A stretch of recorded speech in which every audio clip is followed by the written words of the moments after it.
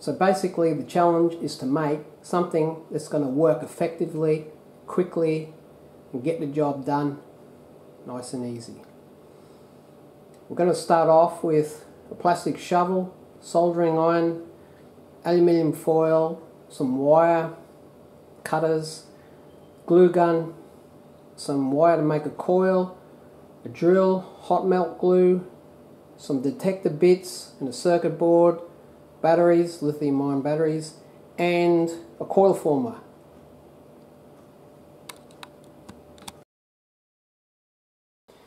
Alright, we're going to need the elliptical shape, so just put that in the elliptical shaped holes. That one can come out too. That one can go over here. Alright. Alright. We'll just start off by wrapping that around there, leaving a little bit of overhang. We can get some tape around this section here. And, oops, that shouldn't be that.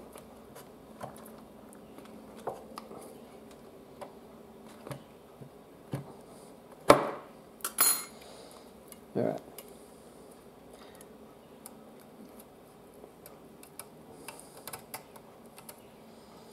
Alright. We'll just do that 22 times and we have an elliptical shape.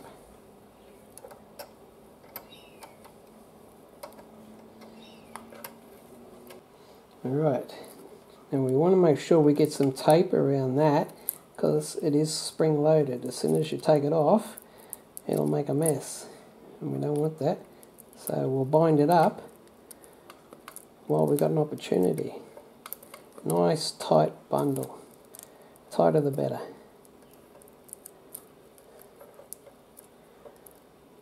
Let's go around the whole thing. Alright, now we have our detector coil. All we're going to do now is just scrape the insulation off the tips. Now we're just going to cut some strips of aluminium foil. This will help protect the coil from unwanted interferences.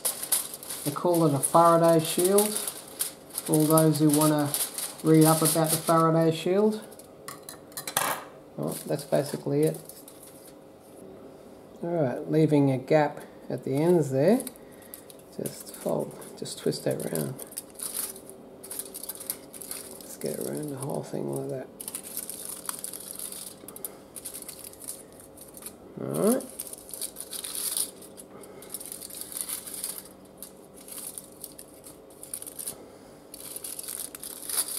Now we've made sure that the soldering iron is absolutely clean.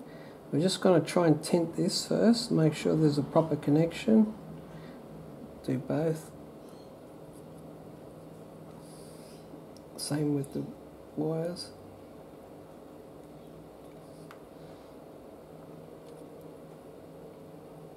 Make sure we join them up. It's only temporary, so it doesn't matter.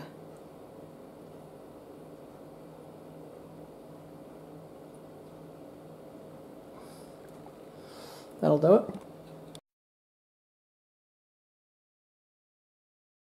Alright, to test it out. I hope it works. We've got the coil hooked up, we've got the headphones hooked up, got the trim pot set. Now, we're using the Barracuda circuit board simply because it works well in mineralized salt water conditions. So this is the perfect coil for the job. And all we're going to do now is hook up the, the power. I'll just show you. And it should fire up. Yeah. Alright, it's fired up. That's good. When you get a noise from it, it's always a good sign. Right now I've got a test piece. As you can hear, that's a nice solid signal. Very good depth too. You can put anything in there, it'll just see straight through it. Right, got to go over the whole thing with some silicon.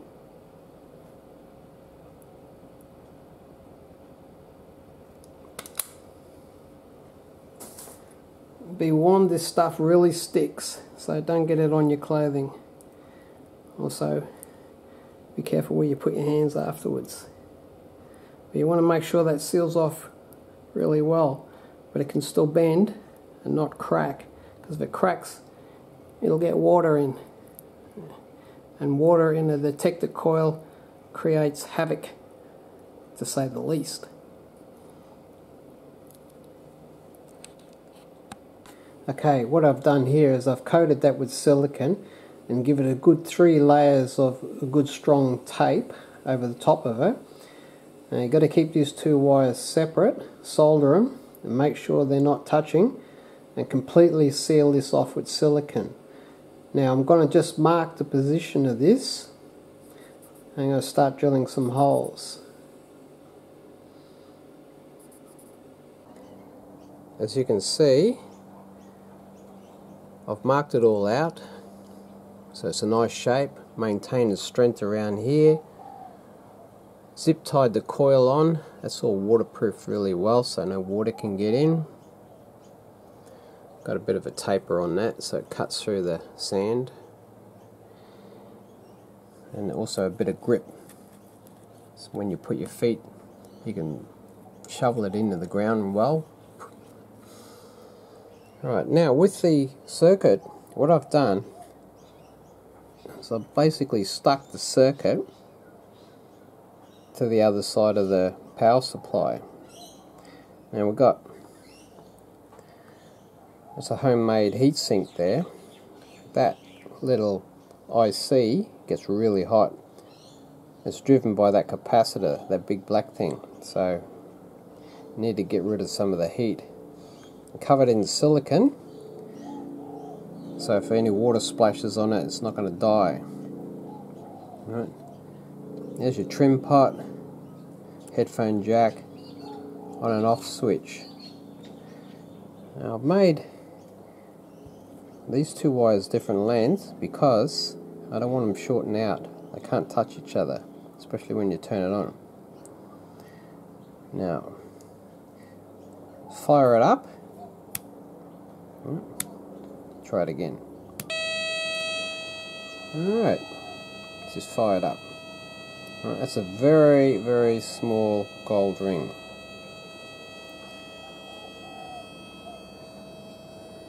I'll just show you.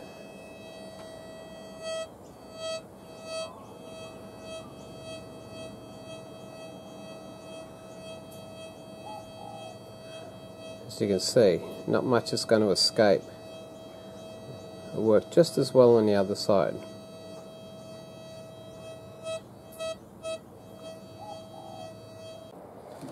Right, you just got this bum bag that just straps around your waist. Just grab this, put it inside.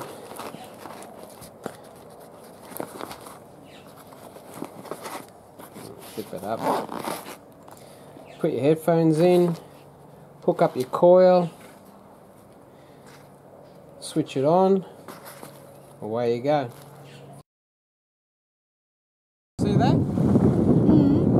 Alright, we're just going to bury that.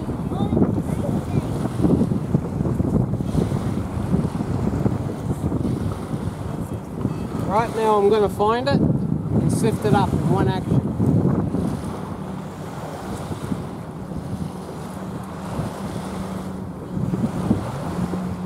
It's right there.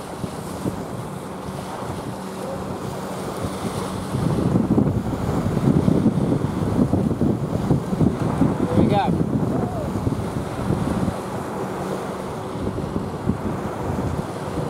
Can you see it? Wet sand, dig a little hole, put the ring in the hole, cover it up.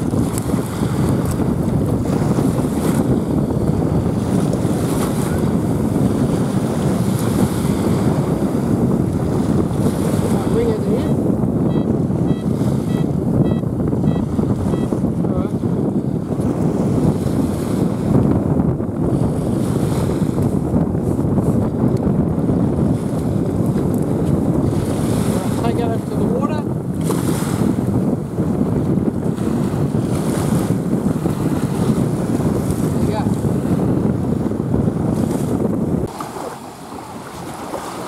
One of the things I like about this detector is it's quiet. Easy to swing, very light, over a metal object, makes a good noise, good solid tone there. No murmuring as it moves from wet sand into water. Complete quiet. That. Over a metal object or even on dry land. Very easy to swing. And a metal object. Complete quiet as I move into the water. Just the background hum of the threshold, nothing else.